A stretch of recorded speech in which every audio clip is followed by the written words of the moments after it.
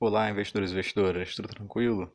Bom, vamos lá, pessoal. Essa aqui é a segunda aula do mini curso de Bitcoin e criptomoedas. Nessa aula, nós vamos falar sobre as vantagens e o preço de utilizar o Bitcoin, certo?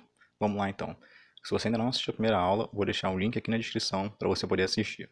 Então vamos lá, quais são as vantagens de investir nesse mercado? O que estipulou o preço a sair do zero até hoje? Como eu falei na primeira aula, quem começou a movimentar foram esses jogos, da internet que pagavam em Bitcoin ali para poder fazer as transações, poder comprar itens no jogo e tudo mais. Até que foi feita a primeira transação.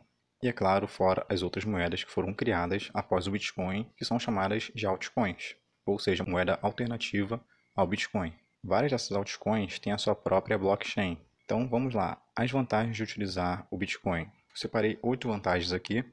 Bom, então vamos lá. O primeiro ponto é que é rápido. O segundo ponto é barato. Tem algumas, como eu já falei, que algumas corretoras que cobram um valor bem salgado para você transferir o Bitcoin hoje em dia. Porém, nós temos moedas alternativas. Temos tokens, temos outras formas de pagamento que você transfere até mesmo sem pagar taxa nenhuma, taxa zero, independente para qual site, independente para qual país você esteja enviando o seu dinheiro. Não tem um intermediário, ou seja, não vai passar ali por um banco, por uma instituição, apenas de corretora para corretora, se for o caso, ou da carteira para outra carteira, se não estiver com dinheiro numa corretora. O quarto ponto, a privacidade. Ninguém sabe quem é você, você não tem como saber quem é outra pessoa também que está enviando.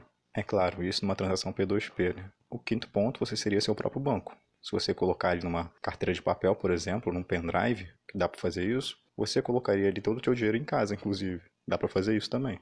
O sexto é uma arma contra a pobreza, por quê? Porque o Bitcoin ele não inflaciona. Não haverá mais de 21 milhões de Bitcoins. É só essa quantidade. Então, acabei falando os dois juntos, arma contra a pobreza, o sexto ponto. O sétimo, não inflaciona.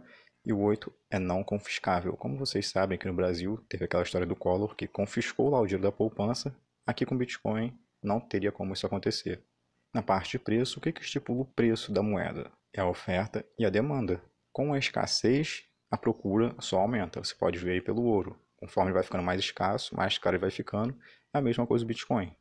Então agora você entendeu quais são as vantagens e como que funciona a parte do preço. Por que ele está valorizando tanto? Porque está ficando mais escasso, correto? Bom, então essa foi a segunda aula. Na terceira aula eu vou mostrar para vocês as formas de usar Bitcoin no dia a dia e como negociar, como comprar e vender ali a moeda para você entender de uma vez por todas como funciona. Show de bola? Então era isso que eu ia passar para vocês hoje. Espero vocês na terceira aula. Deus abençoe de vocês. Valeu!